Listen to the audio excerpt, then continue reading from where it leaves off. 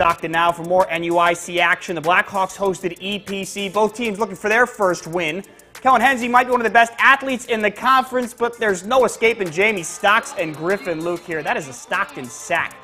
Blackhawks have it now just outside the goal line. And watch this. If you miss it, that's okay, because so did our cameraman and so did the EPC defenders. Jace Phillips sneaks his way into the end zone for a touchdown. Now watch this defensive effort from Michael Haas.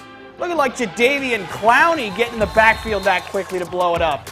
Just a couple plays later, though, Hensey keeps it around the right side and muscles his way in for the answer. But it was not enough as Stockton pulls out the 18 to 13 win.